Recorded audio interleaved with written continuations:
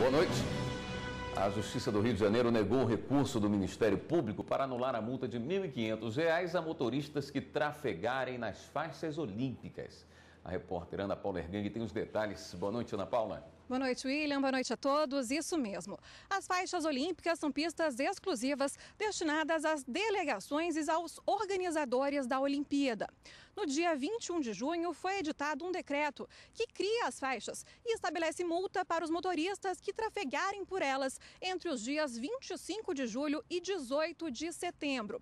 Para o Ministério Público, a Prefeitura pode sim criar as faixas, mas a multa não pode ultrapassar os 85 reais previstos no Código de Trânsito Brasileiro.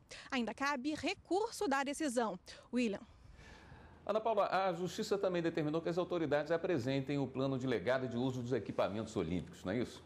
Isso mesmo, William. Esse plano deve ser entregue pela Prefeitura do Rio, pelo Estado e pela União até o dia 4 de agosto, um dia antes da abertura dos Jogos.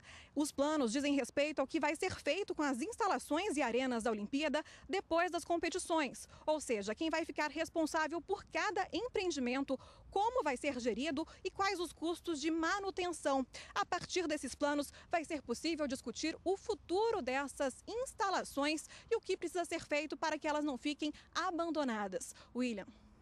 Obrigado, Ana Paula.